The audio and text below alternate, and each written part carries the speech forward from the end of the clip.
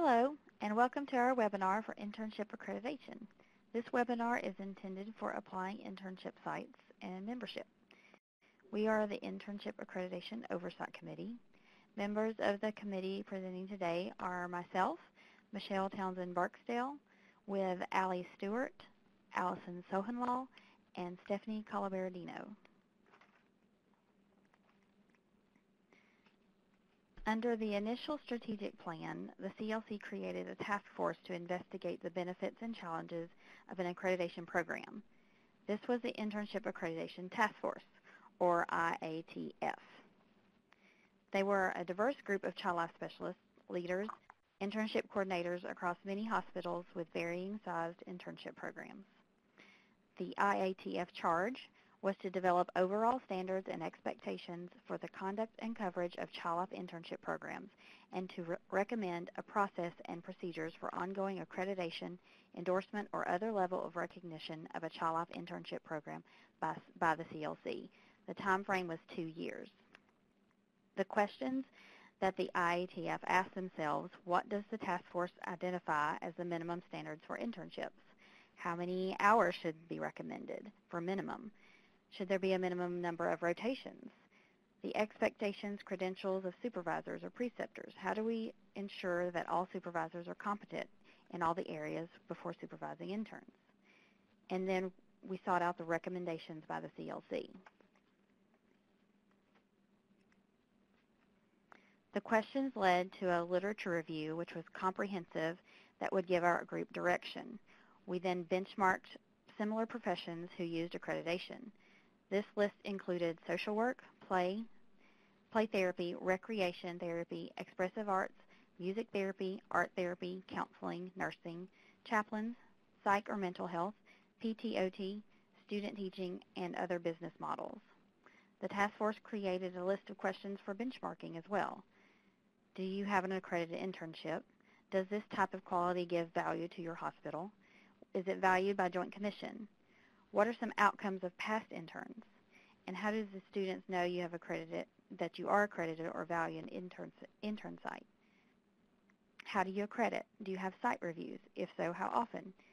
Is it rotating or just one time only? How do you maintain your accreditation?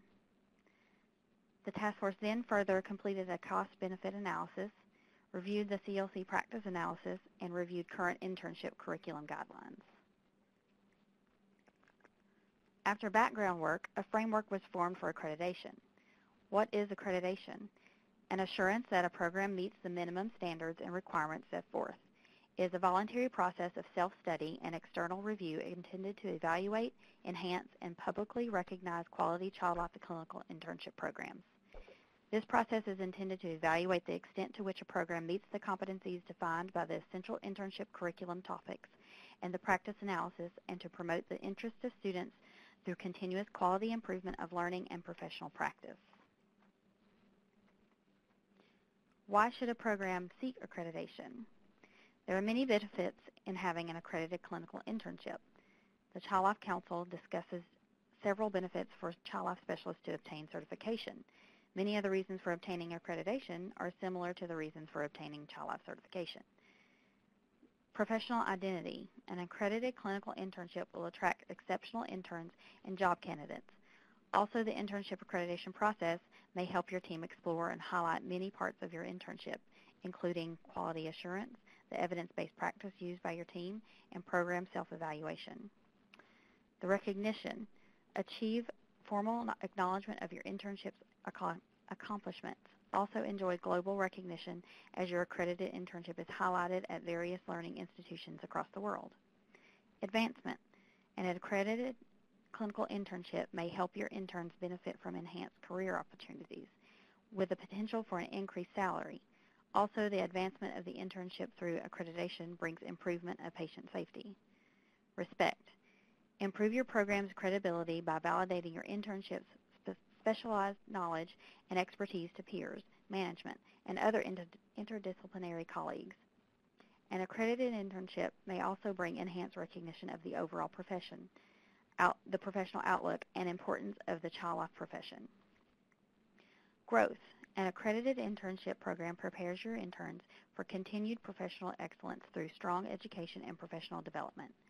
The accreditation process asks institutions and systems to critically evaluate their vision, strategies, priorities, and leadership progr programs and resources. The process of earning and maintaining accreditation provides internships with clear and compelling direction for the implementing changes to move toward excellence. Passion. Demonstrate your program's commitment to advancing the child profession. Students who successfully complete an internship from an accredited program have access to enhanced opportunities in employment, graduate education, and global mobility. Pride. Enjoy elevated self-esteem and satisfaction in knowing your internship meets the criteria of accreditation. Also enjoy a sense of pride in knowing your internship strives to improve standards and quality care. The students who are educated in this level elevated learning environment will be more equipped and competent in their interactions with patients, families, and hospital personnel. What is the cost? Clinical internships seeking accreditation are required to pay an application fee in order to initiate and maintain accreditation status. This fee helps fund the general administration of the accreditation process, which includes activities such as management of application materials, reviewing of applications, record keeping, and communication about the accreditation decisions. These fees also help maintain licensure and support operating costs of the online system. The standard fee which is payable at time of application, is $1,500. The appeals fee is $250, which will cover cost if a clinical internship is denied accreditation and the applying clinical internship would like to appeal the decision. There will be an annual maintenance fee and a five-year renewal fee required. The amounts of these fees are still being determined. They are based on required workforce within the CLC and the maintenance of the online system. On this screen, you will see our timeline. There are 55 programs who have applied for accreditation through the lottery process to date. This lottery process was used to place the programs into qu quarter cohorts.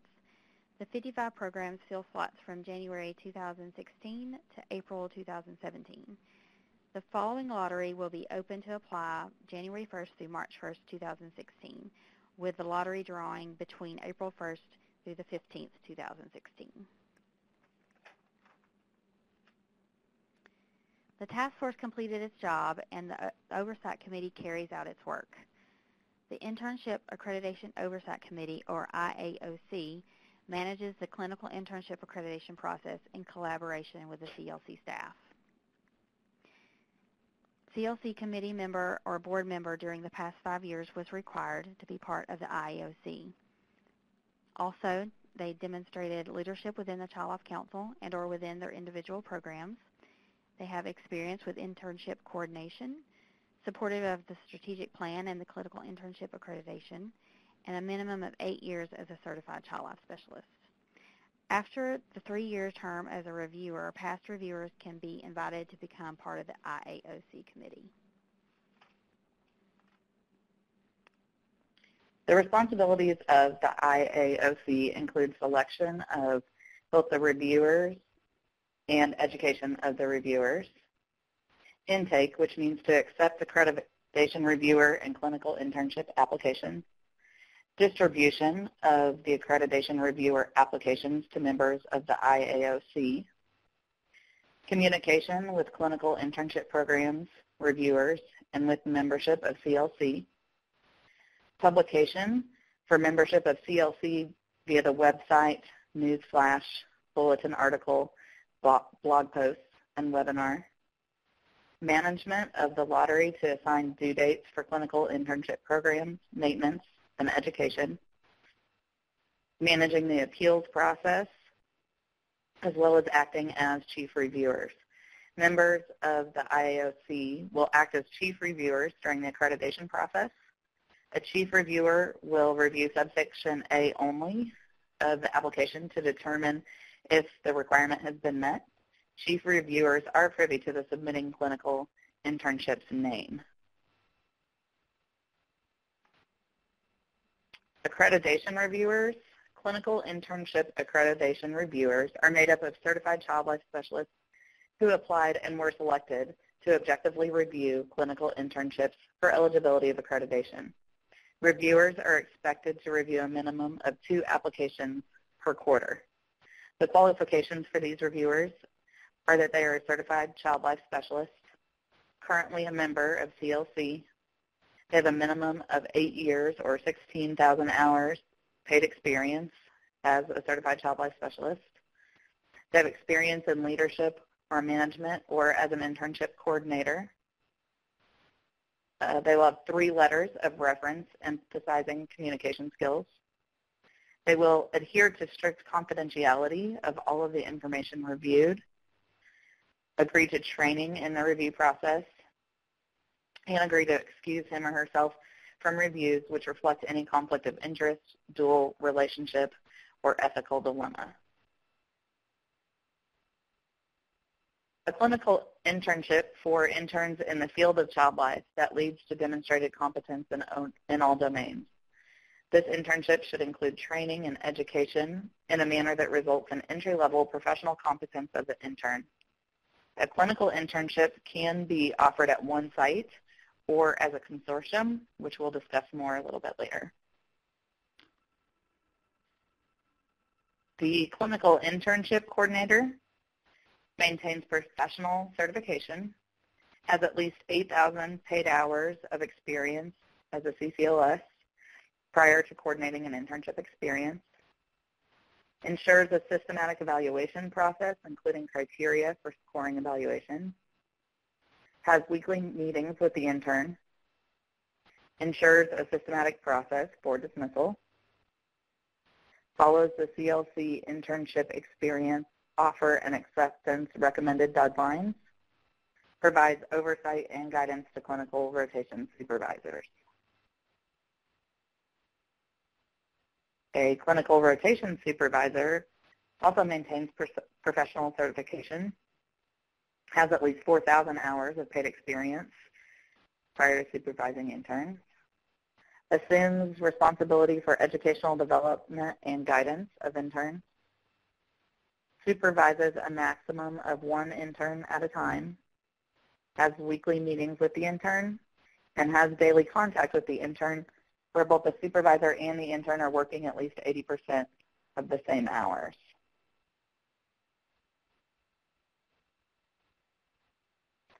A Child Life Clinical Internship Program Consortium is when two or more independent institutions or organizations combine to provide a clinical internship.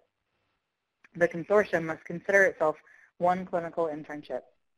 A formal agreement must exist between the two or more organizations that jointly sponsor this clinical internship.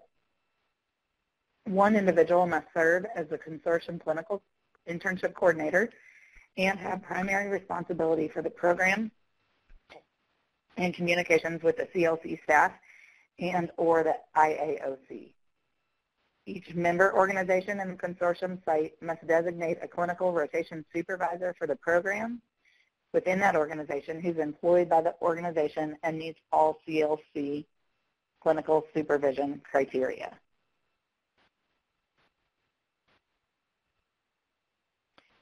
We're now going to start going over the application section. Section 1 is the application cover page. Section 2 is the individual exemplars.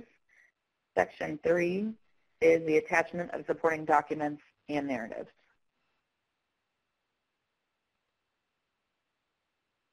Section 1 is the cover page of your application and is to be completed by the Clinical Internship Coordinator.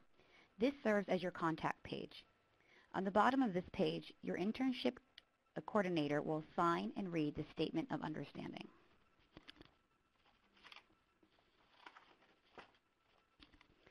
Section 2, Individual Exemplars.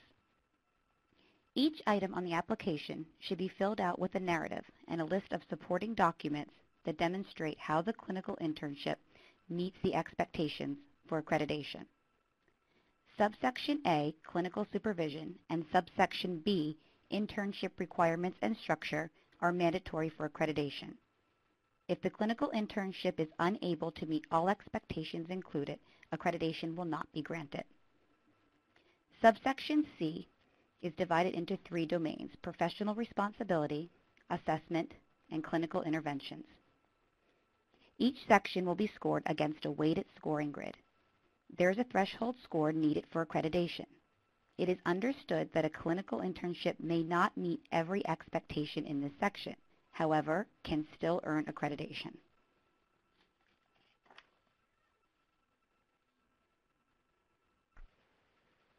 Subsection 2, or Section 2, subsection A, is, a, is mandatory for accreditation, and this applies to the clinical internship coordinator and clinical rotation supervisor requirements. These requirements have been addressed and outlined previously in this presentation. Section 2, subsection B. These are also mandatory for accreditation and applies to the applicant requirements and internship structure. The, the applicant requirements is our internship site will only accept students who have 100 hours of experience with well infants, children, youth, and or families. 100 hours of experience with infants, children, youth, and or families in stressful situations, healthcare settings, and uh, or programs that are designed for children with special needs. Completed the academic coursework uh, portion of the eligibility as, uh, assessment. For internship structure, the internship experience offers a combined 600 hours of clinical experience, a minimum of two rotations that are at least six weeks, 240 hours in length with one clinical rotation supervisor per rotation. Attachment of supporting documents and narratives. Fill out the narrative section in the online application. Then attach all supporting documents within the specified area in the online application. Each item on the application should be filled out with a narrative and a list of supporting documents that demonstrate how the clinical internship meets the expectations for accreditation. The supporting documents are files that demonstrate how the clinical internship meets the eligibility requirements for accreditation and support narrative descriptions. Attach all supporting documents within the specified area on the online application. More than one supporting document can be used for competency. Fill out the narratives for each for, fill out the narrative section for each item with a narrative that best describes the clinical internship's practice to meet that specific requirement. There is a limit to 500 words.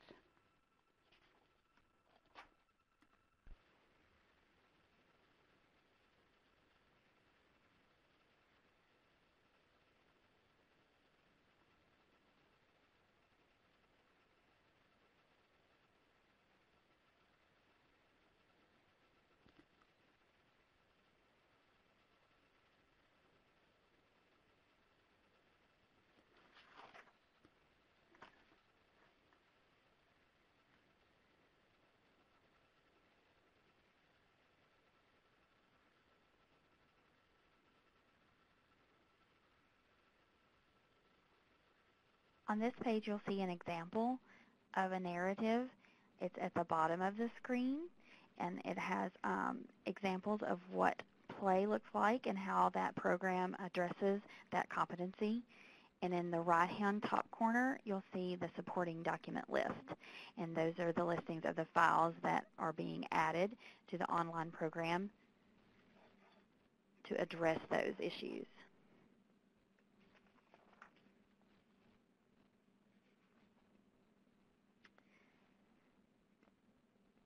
Professional responsibility, first competency. This section is divided into three domains of professional responsibility assessment and clinical intervention. Within the domain of professional responsibility, the applying program will include evidence of how they support intern learning and skills in the related categories of professional development, professional relationships, documentation, education, administrative responsibilities, and volunteer management. Specific learning experiences are listed within each of these categories for programs to demonstrate how they meet the individual competency criteria. Within the domain of assessment, the applying program will include evidence of how they support intern learning and skills in the related categories of stress potential, developmental variables, and psycho psychosocial variables Specific learning experiences are listed within each of these categories as well for programs to demonstrate how they meet these competencies.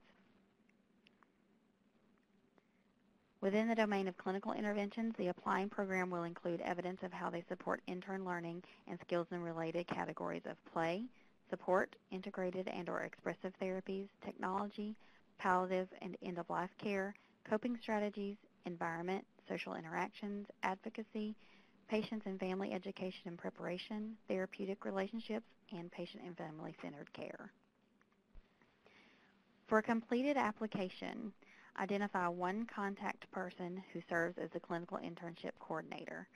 Include detailed narratives of how the clinical internship meets each expectation as seen on the previous slides. Attach documents that support each expectation when applicable. Each section must be completed in its, in its entirety for accreditation to be considered. What does scoring look like? The reviewers will indicate a score ranging from 0 to 3, along with meaningful written feedback. 3 means you exceed the expectation. 2, it's acceptable, sufficient evidence was present. 1 needs improvement, insufficient evidence present, or 0, no evidence is present.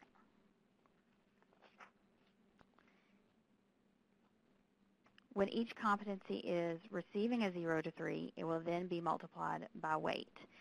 The total at the end of each domain must pass the threshold. Professional responsibility, the number is 42. Assessment is 30, and intervention, being the largest domain, will be 96. The reviewer is encouraged to offer feedback when needed, and the changes that need to be made if competency was given a 0 or 1 score is suggested for the reviewer to give feedback and also praise for an exceptional job. This screen is a view from a reviewer standpoint, so you can see the score given in the top right corner, which was a 2, and the online system will automatically multiply it by the, the determined weight for a final score. As you see, the weight was 4 and the, the total score was 8. At the bottom of the screen, you can see an example of feedback that a reviewer can give.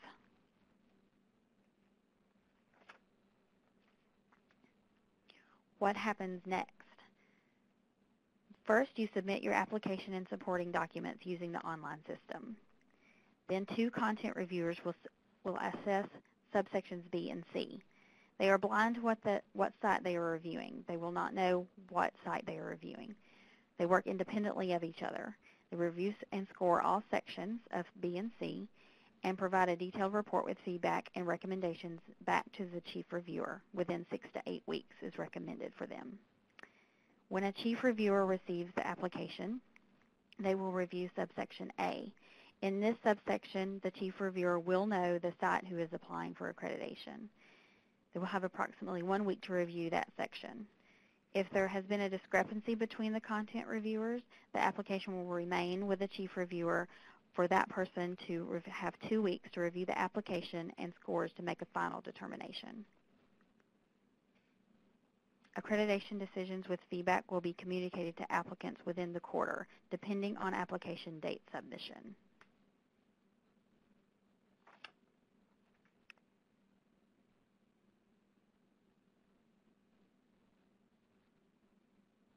So on this screen, you can see that we have uh, laid out the accreditation application process in its entirety. You can see that after step one, once you've completed your application online through the CLC website, we estimate that it will take approximately 14 weeks to move through all of the steps.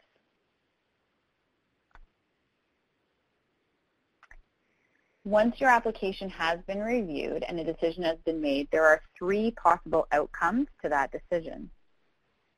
The first outcome is that your application is accepted accreditation as is which means it has met all expectations in subsections A and B, and all domains in subsection C earn the threshold score needed for accreditation, and that clinical internships will be listed on the CLC website with recognition of accreditation.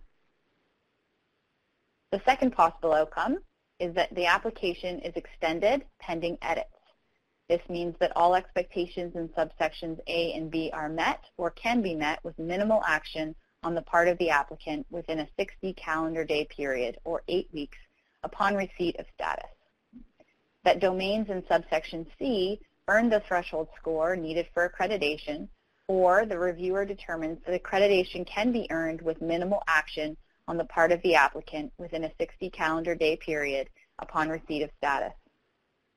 These clinical internships will have 60 days or eight weeks to make the suggested changes to the clinical internship and resubmit for accreditation at no cost. The third possible outcome is that accreditation is denied. This means the expectations in subsection A and B are not met or it is not expected that the applicant can meet these expectations within a 60 calendar day period upon receipt of status. That domains in subsection C do not meet the threshold score needed for accreditation, or it is not expected that the applicant can earn the thresh threshold scores within a 60 calendar day period upon receipt of status, and that clinical internships may choose to either appeal the decision following the appeals process or reapply after 12 months from the receipt of decision with recommended changes in place. This requires a full accreditation fee. The appeals process. The Child Life Council Board of Directors has approved a process through which clinical internships may appeal a denial of accreditation. An adverse accreditation decision is defined as a denial or revocation of accreditation status to an applicant of the CLC Clinical Internship Accreditation Program. Accreditation decisions may be appealed by applicants who feel that the decision was not accurate. To file an appeal of an adverse accreditation decision, the applicant must initiate the appeals process. They must file by the applicant. It must be filed by the applicant via a letter within 60 days or eight weeks of notification Letters are to include the grounds for which they are appealing, components that were identified as deficient, and the reason for disagreement. The Internship Accreditation Oversight Committee has two weeks to respond to the appeal. There's a $250 processing fee necessary to complete the appeals process. There is a new panel of reviewers for this process, the appeals review may be the following quarter or a quarter at a later time, depending on reviewer availability. Upon completion of its review, the panel will either uphold or reverse the decision to deny accreditation and will mail a decision letter to the clinical internship primary contact. The decision is final and binding. Complete documentation of each appeal and outcome will be maintained along with the clinical internship application in the Child Life Council office. In the event of a failure to submit within the required time frame, the letter of appeal, the appeal fee, or the grounds for appeal, the appeal will be dismissed and the clinical internship reviewer's decision will become final.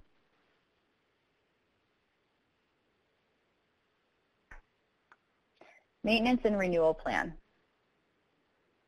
Here, this will be submitted to the Internship Accreditation Oversight Committee. There are two sections for this. In the annual maintenance report, there's Section A, which is a statement of understanding. It is signed yearly by the contact person of the clinical internship site, and it's similar to the statement of understanding used by certification. Section B includes questions. It's only completed if the clinical internship has had significant changes in the past 12 months or anticipates changes in the next 12 months. The five-year renewal is a report which lets us know the number of interns seen in your program over the past five years. We recognize that this is a new endeavor for you and for our profession as a whole. We are here to help with any questions you may have along the way. Please visit our webpage for further information and email us with questions. A member of the Internship Accreditation Oversight Committee will return your email as soon as possible. And lastly, we'd like to thank everyone for attending the webinar. And again, if you do have any questions, please use the webpage for further information or send us an email. Thank you very much and have a great day.